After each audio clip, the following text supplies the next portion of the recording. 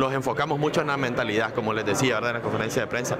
Eh, el, equipo ya tiene un ADN, una identidad de juego, ¿verdad? Que, ya viene a trabajar desde que estamos en segunda división, ¿verdad? Eh, las incursiones de los, de los jugadores que se han venido anexando, tratamos de que se, de que se asemeje a lo que nosotros hemos jugado siempre, ¿verdad? Y, yo creo que estas incursiones, estos jugadores, como mencionaba vos, este, el Tico, ¿verdad? Este, Andrés Arce, eh, nosotros pensamos que va a ser un gran aporte para el equipo él, ¿verdad? Eh, un muchacho que tiene con muchas ganas de, sobresalir. Pero yo eh, básicamente me he enfocado en lo que es